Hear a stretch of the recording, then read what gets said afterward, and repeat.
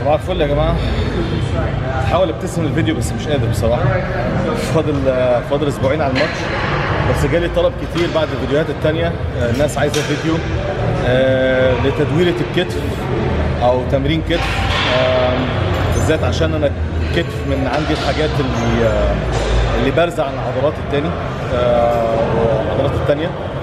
والناس بتسأل آه، أنت إزاي عملت أو إزاي دورت كتفك بالطريقة دي؟ فالنهارده هعمل فيديو عن الموضوع ده.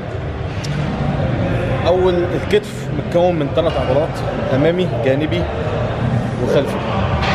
آه واللي بيبص على الفيديو لا أنا مش بضرب أي حاجة في كتافي عشان الناس بتقول لي أنت بتضرب سنتول وكل الكلام ده ده مش حقيقي. آه هي شكل كتفي بيبقى عامل كده يعني مش دي حاجة وراثية يعني. آه العضلة الجانبية بتدي عرض. العضلة الأمامية بتدي الهيبة. لما الواحد بيمشي قدامك الحجم بتاع الكتف كله بيجي من الأمامي التدويرة نفسها بتيجي من عضلة الخلف. فإحنا هنعمل طريقة التمرين ده بالشكل ده. هنبتدي الأول حاجة بالعرض. عاوزين نعرض الكتف. بعد العرض هندورها بتمرين خلفي وبعدين هن- هنرمي لها شوية حجم للأمامي. حابب أعمل لكم فيديو تاني في المستقبل إن إزاي واحد يرمي حجم على الكتف ك- ك- كعضلة كاملة بس الفيديو بتاع النهارده هيبقى إزاي ندور الكتف لأن أنا قريب من الماتش فزي ما تقول إيه ده بر... ال- التمرين ده بينفع بالذات برضو لل definition. آه فتعالى نعمل أول تمرينة للكتف الجانبي عشان تعرض الكتف أكتر.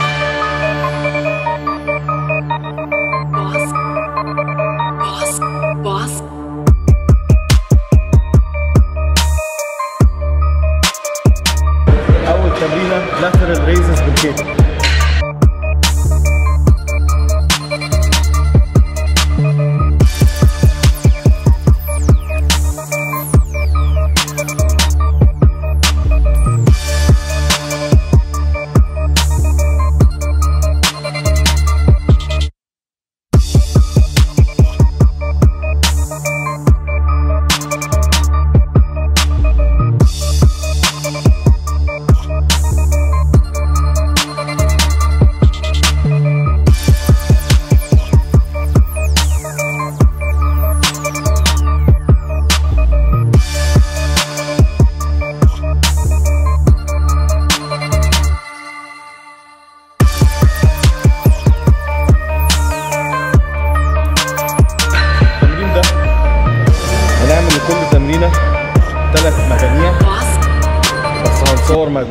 واحدة بس من كل تمرينة لأن فيه ست تمارين مختلفة. اتنين لكل عضلة. فعشان نقصر الفيديو هنصور بس مجموعة واحدة لكل تمرين وأدي أول تمرينة اسمها lateral raises بالكيبل بقول لك يا دورة وانت حاسس بإيه؟ أنت تعبان دلوقتي مش قادر إيه اللي بيخليك تكمل؟ إن في لعيبة تانية مركزين معايا. وأنا عارف إن هم مركزين معايا وعارفين داخلين نفس الماتش. فالفكرة إن أنا عارف إن هم بيقولوا لا ده دره هيفضل مكمل ومش هيتعب أو مش هيعمل cheating في ال diet بتاعه. فهي back and forth يعني نفس الحاجة. إن كل ال... إن أنا عارف إن اللعيبة التانية بيحطوا الشغل. فأنا يا إما أعمل زيهم وأكتر يا إما ما أخشش أحسن. وحلو طبعا ال الكومبيتيشن ما بين اللعيبة لأن كل واحد بيسخن التاني. آه بالذات لما واحد من اللعيبة يرمي لك صورة هنا أو يرمي لك صورة هنا. وساعات بنعمل برضو إيه حركات خبيثة بنحط صور قديمة. خباثة. آه والله في واحد من اللعيبة لسه كاسبهم من ال كان خد تالت في الماتش اللي فات. لقيته حاطط على الإنستجرام صوره الصورة بتاعته من سنة. وبيقول ناقص ثلاث أسابيع. دي الصورة من السنة اللي فاتت وأنا عارف. رحت بعت له message قلت له والله العظيم بعت له message قلت له يعني أنت فاكر يعني لما أشوف الصورة دي هريح أنا في البيت بقول "oh، أنا كده كده كسبه بقى أنا مش محتاج أروح التمرين. رحت قايل له إيه nothing will save you. مفيش حاجة هتنقذك هتخسر تاني برضه. تمرينة للكتف الخلفي. الجهاز ده عادة مش موجود في الجيمات فممكن تعمله بالدنابل رفرفة بس للكتف الخلفي. فلو انت قاعد على كرسي بتبقى عامل كده تجيب الدمبل كده.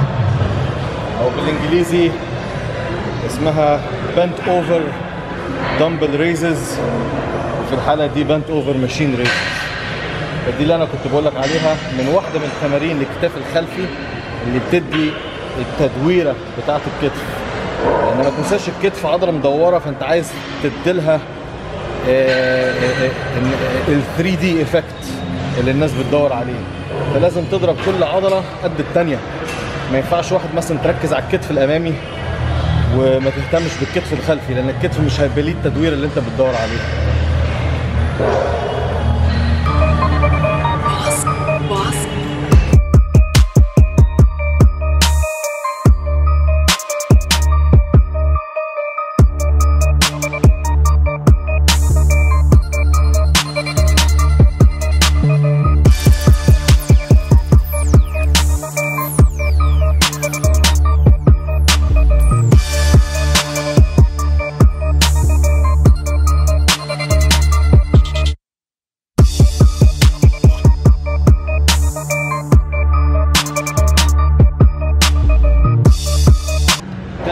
تمرينه دخلنا على الكتف الأمامي. لسه مش بنعمل أي presses تمارين ال presses هي أكتر تمارين بترمي حجم في الكتف بس أنا قلت لكم الفيديو ده عاوزين ندور الكتف نفسه.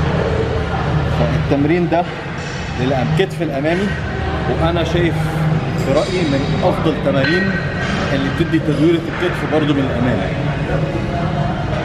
دي اسمها front EZ bar ال bar بيبقى عامل كده بيبقى اسمه EZ ف front EZ bar raises ممكن برضو تعملها بال بالبار الحر أو بال bar ال straight. بتبقى front front bar raises for delts فهي هي.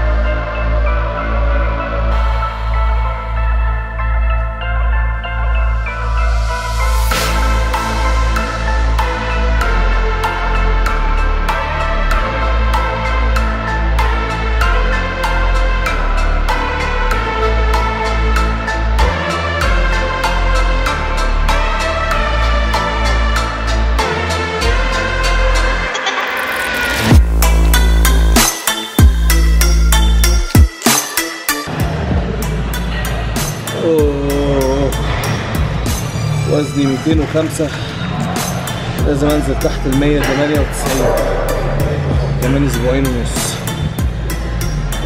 عندي المدرب بتاعي. آه أنا عندي مدرب طبعا. كل واحد محتاج مدرب على فكره يعني لو مستر أولمبيا نفسه عنده الكوتش بتاعه أكيد أنا هيبقى عندي الكوتش بتاعي. حاططني على كربوهيدرات واطي قوي. ومعلين ال cardio. أحسن طريقة على فكرة تخس بيها دهون. cardio على معدة فاضية. هات لك عجلة في البيت مستعمله أو مكنة ال electrical. مكنة ال electrical. أو مكنة electrical. هاتها عندك في البيت أول ما تصحى من النوم نص ساعة 40 دقيقة. أنت طبعا أنت عارف أول ما بتصحى من النوم بتخش على الفيسبوك. بتقعد لك على الأقل ساعة. اعملها على ال cardio. تلاقي نفسك الدهون بتخس بعدين شهوتك للأكل بتفتح فبتاكل أحسن بتاكل أكتر وجهاز الهضمي بتاعك وال metabolism بيزيد عندك لما بتعمل cardio الصبح. وأحسن طريقة إن أنت تخس بيها دهون مش هتخس عضلات خالص. لو بتاكل كويس وبتنام كويس. دي خامس تمرينة رجعنا تاني. لا دي رابع تمرينة. رابع تمرينة رجعنا تاني للكتف الجانبي. آه بس ده وإحنا قاعدين لأن ال motion بتاعه بيبقى different غير من اللي إحنا كنا بنعمله في أول واحد. وده بيبقى برضه رفرفة ممكن تعمله بال dumbbells وانت قاعد على الكرسي أو بمكنة زي كده أو بالمكنة لما دراعك بيبقى في, آه، درجة 90 نفس نفس الشكل ده.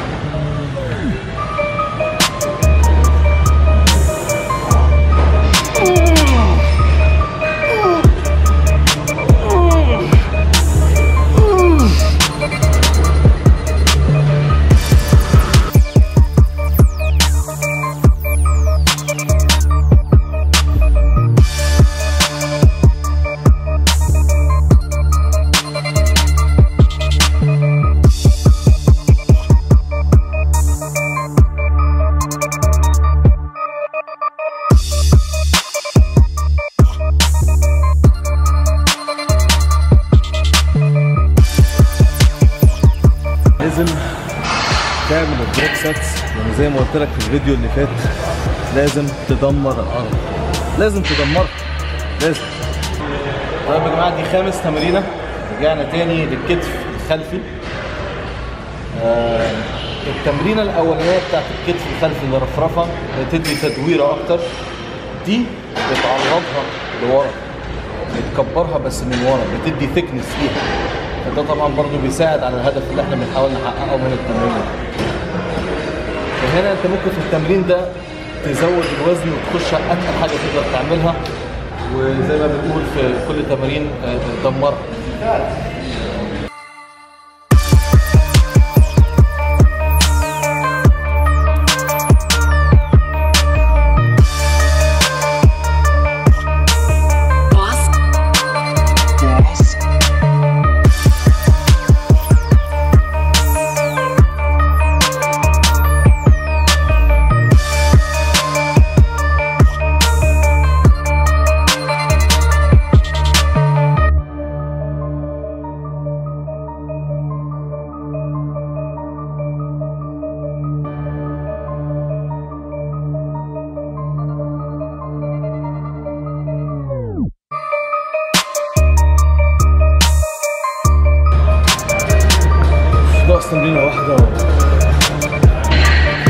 وصلنا آخر تمرينة الكتف اللي هي شولدر بريسز آه عادة أنا بعمل التمرين ده بحب أعمله بالبار. آه، أوزان حرة. بس أنتوا عارفين أنا خلاص فاضل أسبوعين على الماتش بتاعي. فالطاقة عندي قليلة شوية. بس آه زي ما قلت لكم هنعمل إن شاء الله فيديو بعد البطولة بتاعتي آه للكتف. بس إزاي بقى ترمي حجم جامد؟ آه، فده التمرين للكتف الأمامي. وده بيرمي مركز أكتر إن هو يدي شوية زيادة حجم للكتف كله عامة.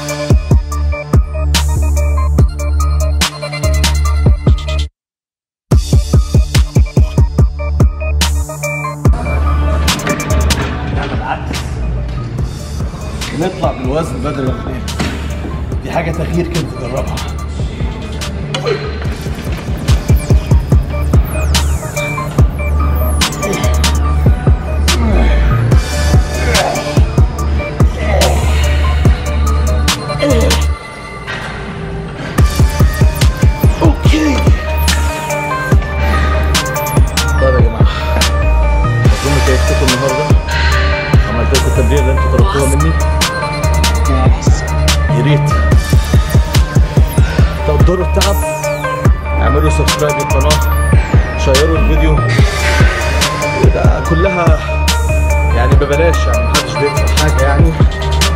وبتتعلم حاجة وممكن تعلم اصحابك حاجات برضه. ف subscribe share like comment و نشوفكم في الفيديو الجاي إن شاء الله. وما تنسوش يا جماعة لما تيجي تمرن عضلة معينة أكتر كلمة تخليها في بالك. دمرها.